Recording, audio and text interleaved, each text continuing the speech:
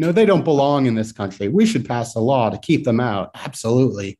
And hearing this anti immigrant sentiment just enrages Joe Magarac, who is still a steel beam, mind you, uh, to the point where he actually melts down and reforms in, again, a classic T2 moment, but now is now it's the T1000 rather than the T800. yes. So um, he reforms uh, and decides to go on a rampage. And it just so happens um, Steve and his wife uh, are visiting DC to check out the cherry blossoms or some shit.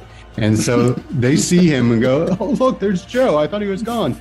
Joe, stop, stop. Check guy, what are you doing? And Joe is like, You don't want me? Fine. I'll go back to my own country. I'm going back to the homeland. And you know what? I'm going to take all the steel that I made with me. And he starts ripping up the public transit system in DC. yeah. And uh, they send the police, they send the army, and no one can stop him. He's like, You think the US Army can stop a man of steel? and um, they're pleading with him Steve, Steve, uh, Joe, Joe, please.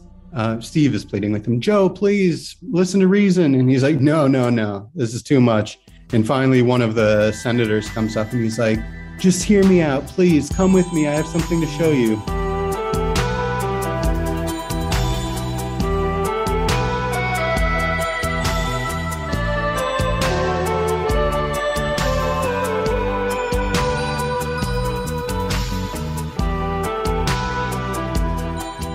Fritz here.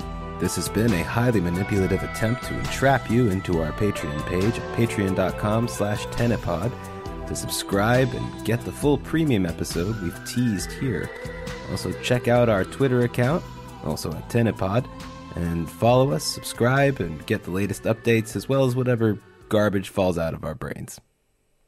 So, we cool?